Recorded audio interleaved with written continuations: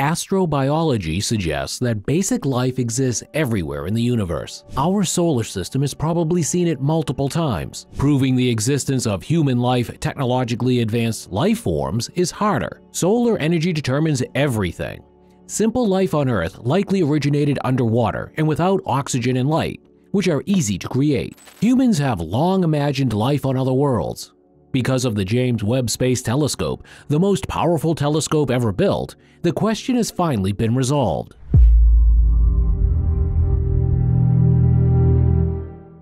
NASA's James Webb Space Telescope found the first evidence of carbon dioxide in an extrasolar planet's atmosphere. This study of a gas giant 700 light-years away around a sun-like star provides crucial information on its composition and evolution. In light of this finding, NASA Administrator Bill Nelson has vowed that in the near future, humanity would have a perspective on the cosmos that is completely unprecedented. After finding this, NASA Administrator Bill Nelson offered a new view of the universe. So, let's have a look at the most recent findings from the James Webb Space Telescope and discuss their significance and the possibilities for further exploration. James Webb has two infrared cameras, the first is an NIRCam, or Near Infrared Camera, which captures infrared light at shorter wavelengths. The second instrument, the MIRI-Cam, records longer infrared wavelengths. The camera used to take the photos affects their appearance. NASA has released many stunning photographs from this massive one-of-a-kind telescope. Stars generating magnificent blue and orange light, galaxies whirling and crawling around each other in a tangle of stars and dust clouds, and some of the universe's oldest light from 13 billion years ago. The acquired information appears to be secure at this time, but the future is never certain. NASA expects this telescope to see light from the universe's farthest reaches, which might be dangerous and exciting at the same time. NASA results have pleased academics and scholars worldwide. Using NASA's James Webb Space Telescope, an international group of astronomers compiled a comprehensive catalog of the deepest, coldest ice ever recorded on a molecular cloud last month. The researchers found frozen carbonyl sulfide, ammonia, methane, methanol, and water, the most detailed census of ice components available to build future stars and planets before they are heated during starbirth. The dark molecular cloud Chamaeleon 1 can be seen in its central region in this view from the telescope's near-infrared camera, which is 630 light-years away. Infrared light from the youthful, outflowing protostar CED-110 IRS-4 illuminates the cold, wispy cloud material. Ice in the cloud absorbs starlight and can be seen by many background stars, appearing as orange spots behind the cloud. The Ice Age project was one of Webb's 13 early release science programs, and this research was done as part of that effort. These observations show Webb's observing capabilities and teach the astronomical community how to use its instruments. The Ice Age team plans to observe ice from creation through icy comets. JWST imaged a dusty disk around a neighboring red dwarf star a week before this finding. These infrared observations show the disk for the first time.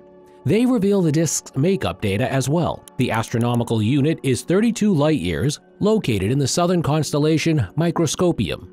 Since planets typically form in less than 10 million years, its age of 23 million years indicates that planet formation has ended. As of now, two planets orbiting this star have been spotted using different telescopes. Telescopes found two planets orbiting the star. Collisions between planetesimals, a more massive version of the dust in our solar system that creates zodiacal light, created the dusty debris disk. Webb's NIRCam examined the astronomical unit. NIRCam's coronagraph blocked the main star's intense light, allowing scientists to investigate the region near the star. Thanks to the NIRCam's photos, scientists were able to follow the disk down to within 5 astronomical units, 460 MPC, of the star, which is roughly the distance that Jupiter travels in our solar system. The observation program took pictures at 3.56 and 4.44 microns, the researchers found that the disk was bluer or brighter at shorter wavelengths, suggesting that it contains a great deal of dust that is more efficient in scattering these wavelengths. Astronomical unit Mike's radiation pressure, unlike that of more massive stars, is inadequate to dislodge fine dust from the disk, as shown by prior study. While pinpointing the disk's location is important, the team's ultimate objective is to search for gas giant planets like Jupiter and Saturn, as well as the ice giants that inhabit our own solar system. These worlds are hard to find near distant stars using transit or radial velocity methods. An international team of European astronomers using Webb found an asteroid about the size of Rome's Colosseum, 300 to 650 feet, 100 to 200 meters. During MIRI calibration, the crew found an interloping asteroid by chance. The object is possibly Webb's smallest yet, measuring less than 0.6 miles, 1 kilometer in length, within the main asteroid belt between Mars and Jupiter. More observations are needed to further understand this entity. These Webb observations, published in Astronomy and Astrophysics, were calibration photos of 1998 main belt asteroid 10920-1998 BC1. Technical difficulties such as the object's brightness and an offset telescope pointing rendered the observations ineffective, as judged by the calibration team. The observations had been conducted to evaluate the effectiveness of various MIRI filters. The calibration team found that MIRI's filters failed owing to technical concerns such as object brightness and offset telescope aiming. However, the scientists used asteroid 10920 data to build and test a new orbit constraint and size estimation method. MIRI, ground-based telescopes, and the ESA's Gaia spacecraft validated the method for asteroid 10920. The MIRI data analysis revealed the smaller interloper, an extremely low inclination orbit and a position in the inner main belt at the time of the Webb observations corroborate the team's estimates that the object is between 100 and 200 meters in size. If confirmed, this asteroid, which the team believes is Webb's tiniest and one of the smallest in the main belt, would change our understanding of the solar system's formation and history. Small asteroids are predicted by current models, but they are hard to observe, hence they have been investigated less than the larger ones. Webb-dedicated observations will allow astronomers to examine asteroids under 1 kilometer. This suggests Webb may accidentally discover new asteroids. Even short MIRI observations near the solar system's plane will always include a few asteroids, most of which will be unknown, the team believes.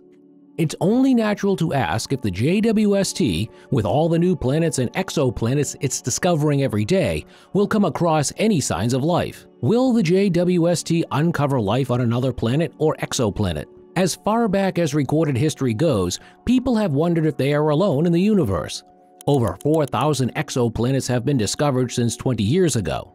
NASA estimates that trillions of exoplanets exist, the first signs of life outside our solar system might be found on extraterrestrial planets. On its approach to Jupiter, Galileo pointed its instruments towards Earth and found plant evidence. Red foliage, the sensor found VRE biosignature in plant reflected red and infrared light. Earth, with its rainforest, should have a strong and easy to detect VRE signal.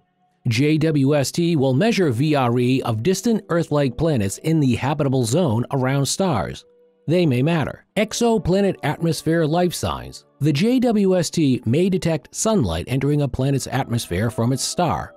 Spectroscopy would detect the missing wavelengths. The JWST can identify the atmospheric fingerprint left by atoms and molecules absorb specific wavelengths. You can use this technique to find out what sort of atmosphere a planet has and if life can thrive in it. The approach can identify life and atmospheric composition. Earth-sized planets with similar atmospheres should have life. Proxima Centauri, our nearest red star dwarf 4.25 light-years from the Sun, offers the best chance to see city lights outside the solar system. A planet must be 20 times closer to Proxima than Earth to support liquid water-based life because it is 600 times fainter than the Sun. In August 2016, astronomers discovered a planet in the habitable zone with a mass of 1.3 times that of Earth.